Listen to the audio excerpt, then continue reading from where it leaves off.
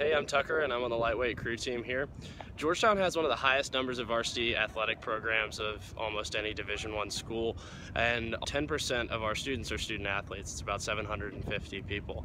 This year we got a really nice upgrade to our facilities, which you see behind me. It's the new Thompson Athletic Center, which opened in fall of 2016. So let's go take a look around.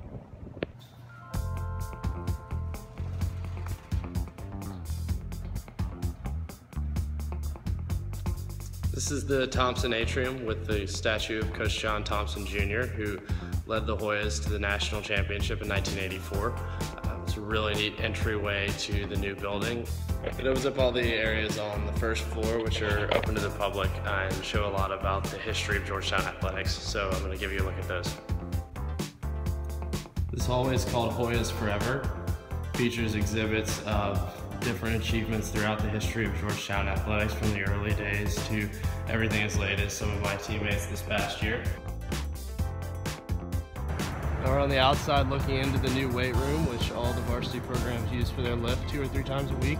It's a really great facility that's been quite an upgrade from what we used to have.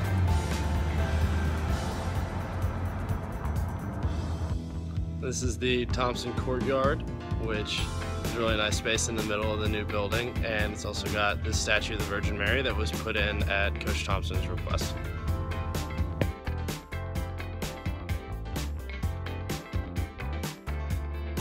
So this is my favorite display here at the Thompson Center. It's the 1984 National Championship Basketball Trophy and a couple of other things that go